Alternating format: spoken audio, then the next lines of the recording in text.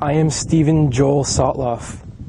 I'm sure you know exactly who I am by now and why I am appearing before you. And now, it is time for my message. Obama, your foreign policy of intervention in Iraq was supposed to be for the preservation of American lives and interests. So why is it that I'm having to pay the price of your interference with my life? Am I not an American citizen?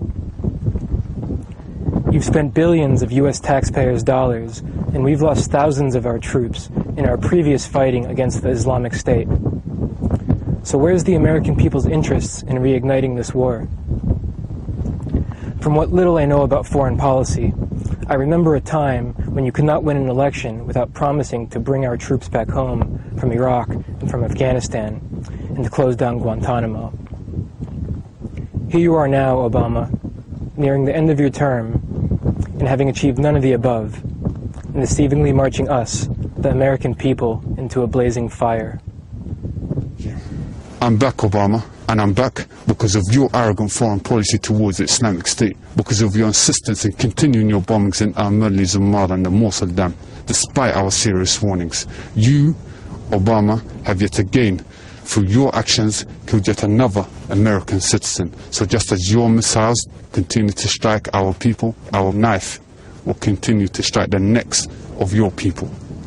I'm sending this message to you, Abu Bakr al Baghdadi al Qurashi al Husseini, the Caliph of the Islamic State.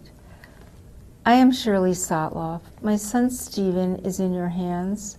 Stephen is a journalist who traveled to the Middle East to cover the suffering of Muslims at the hand of tyrants. Stephen is a loyal and generous son, brother, and grandson. He is an honorable man and has always tried to help the weak. We have not seen Stephen for over a year and we miss him very much. We want to see him home safe and sound and to hug him. Since Stephen's capture, I've learned a lot about Islam. I've learned that Islam teaches that no individual should be held responsible for the sins of others. Stephen has no control over the actions of the U.S. government. He's an innocent journalist. I've always learned that you, the Caliph, can grant amnesty. I ask you to please release my child.